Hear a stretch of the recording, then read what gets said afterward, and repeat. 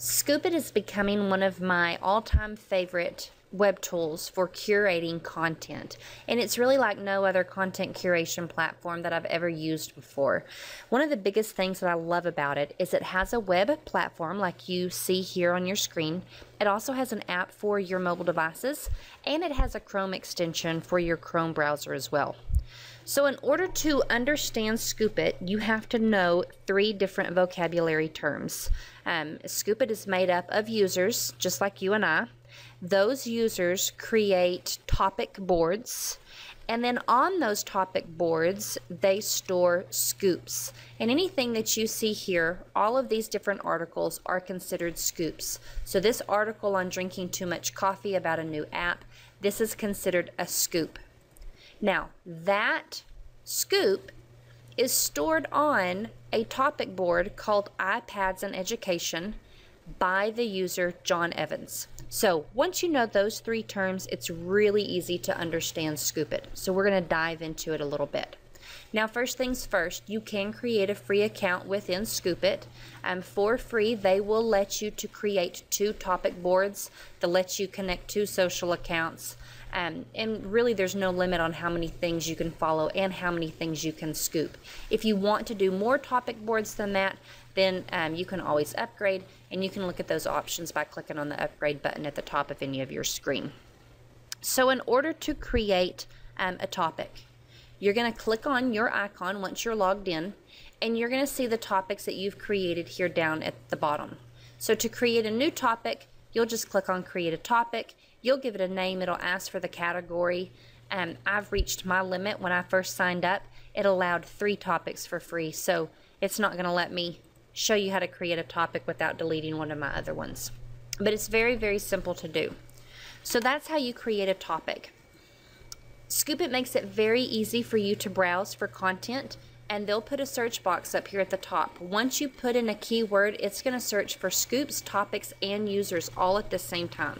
So we're going to go ahead and put in EdTech and see what it pulls up. And it'll show you three different tabs. It's found over 39,000 scoops relating to EdTech, 379 topics, 444 users. So you can scroll back and forth through those tabs to find the information that you're wanting, follow particular boards or whatever. Now following a topic board is very easy and all of these here are topic boards pertaining to my keyword EdTech. So once you find a topic board that you like, there's a couple ways to follow it. When you hover over it, you're going to see this follow link down here at the bottom. You can click on that and it will follow it. Or if you happen to have the topic pulled up on your screen, such as this, you'll see the follow button is up here on the top left.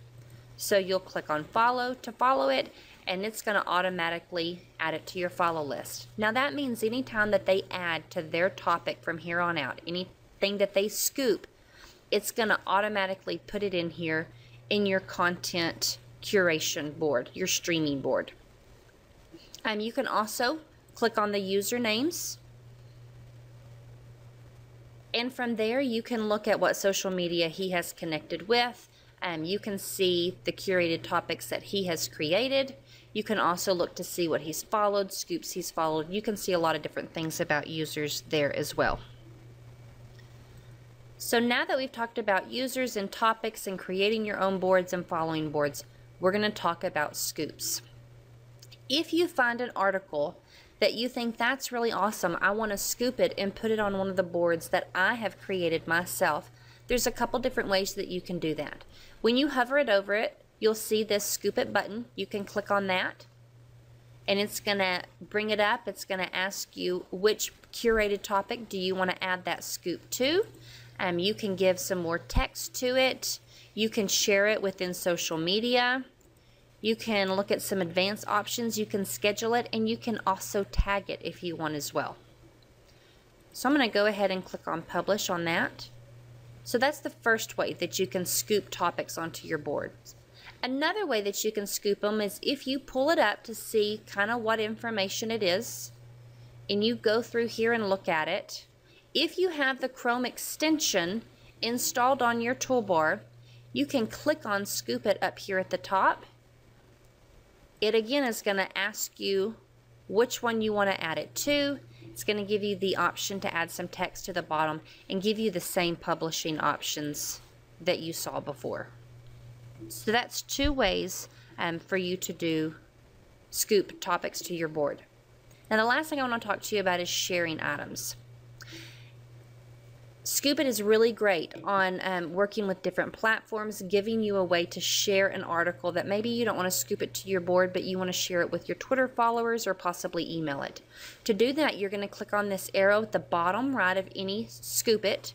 Um, and there it's going to ask you, you can share it with Google+, Plus, pin it, share it with your social media, you can email it, um, it's going to give you the URL, and you also can get the embedding code if you happen to want to embed it to your blog or to your website or whatever. So that's really the ins and outs of Scoop.it. Very, very easy to use. Um, your content will sync within your web browser and across all of your mobile devices. Um, it's just an amazing way for you to learn new content.